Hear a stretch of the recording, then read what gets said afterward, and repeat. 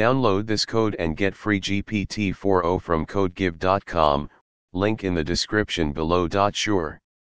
The next int method in Java is part of the scanner class, which is commonly used for reading input from various sources, including keyboard input.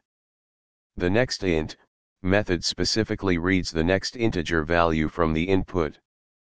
Hashtag hashtag hashtag overview of next int. 1. Importing the scanner class, before using scanner, you need to import it from the java.util package. 2. Creating a scanner object, you instantiate a scanner object that takes an input stream as a parameter. For keyboard input, you use system.in. 3. Using nextInt, call the nextInt method to read an integer value from the input. Hashtag hashtag hashtag key points. Input validation, if the input is not an integer, next int, will throw an input mismatch exception. It's important to handle such exceptions to avoid crashing the program.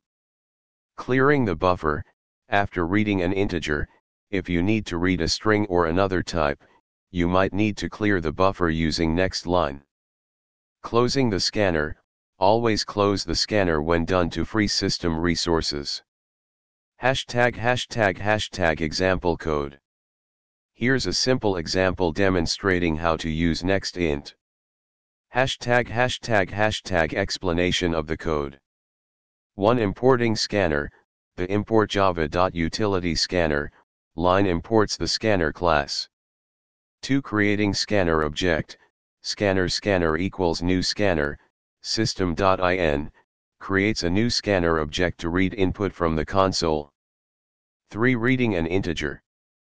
int user input equals scanner.nextInt, reads the next integer entered by the user. 4. Handling input mismatch, the code is wrapped in a try-catch block to handle potential input mismatch exception. 5. Performing a calculation, the input integer is doubled and printed to the console. 6. Closing the scanner, scanner.close, ensures that the resources are released. Hashtag hashtag hashtag conclusion. The next int method is a straightforward way to read integers from user input in Java. Always remember to handle exceptions and close the scanner to prevent resource leaks. This method is widely used in console applications for input processing.